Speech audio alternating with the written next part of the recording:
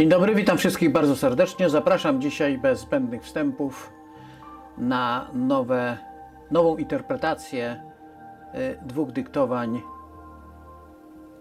Matki Jezusa, Boga.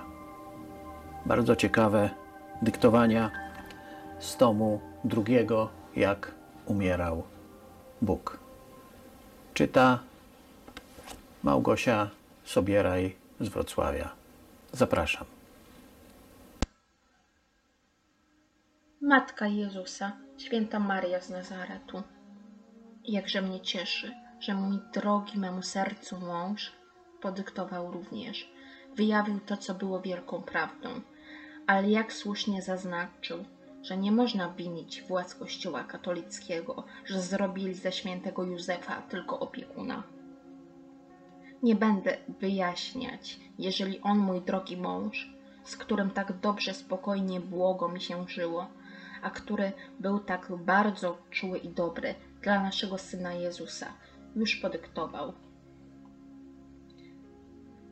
Tyś, Halinko, dość dawno temu od naszego syna Jezusa miałeś przyrzeczone, że otrzymasz informację o jego poczęciu. Gdyś otrzymała od Boga Jezusa informację, że seks jest darem Boga dla ludzi, zaczęłaś podejrzewać, wiedząc jak Bóg jest sprawiedliwa, sprawiedliwy, że poczęcie Boga Jezusa powinno odbyć się normalną drogą, że dlaczego ja, Matka Boga, miałabym tego daru być pozbawiona.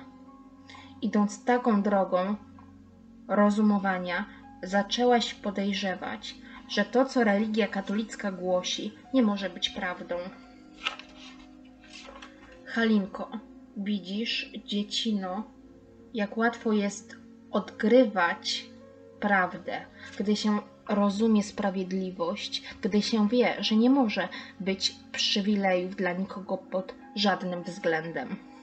Łaska, której myśmy doświadczyli, że Boga życzeniem było urodzić się w naszym związku, zostać naszym dzieckiem, nie powinna była zakłamywać naszego życia, mimo że Kościół katolicki tak głosi.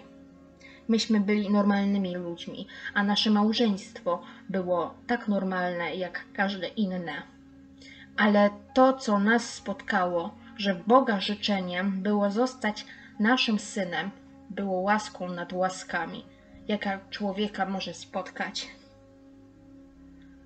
Wiem, że ciekawi Was, kiedy dowiedziałam się, że syn nasz będzie Bogiem Stwórcą. Otóż przez wiele, wiele nocy śniłam, że syn, który się urodzi, to nie będzie zwykły człowiek, a Bóg Stwórca. Bo przyjść Jemu czas, żeby przynieść nową wiedzę, nową religię. Śniłam, że tę wiadomość powinnam zachować tylko dla siebie, że ta wiadomość to specjalna łaska dla mnie, Matki Boga. Przyznaję, w swojej skromności nie mogłam pojąć, dlaczego ja.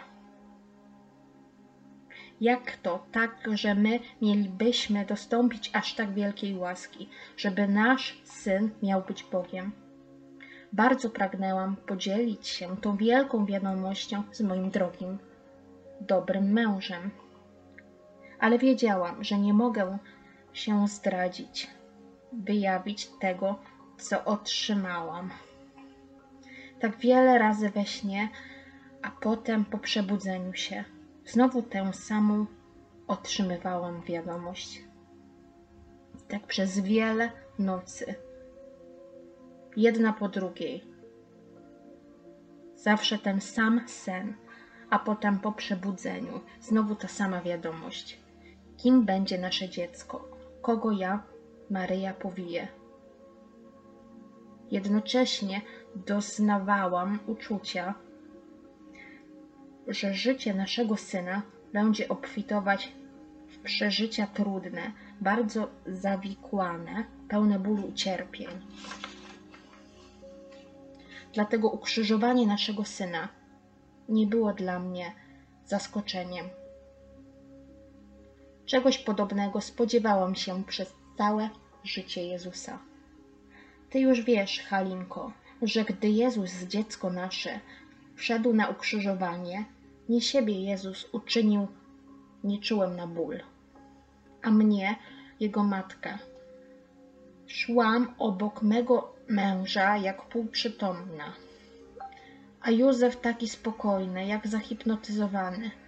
Żadne z nas nie miało poczucia ani czasu, ani przestrzeni, jaką przemierzaliśmy.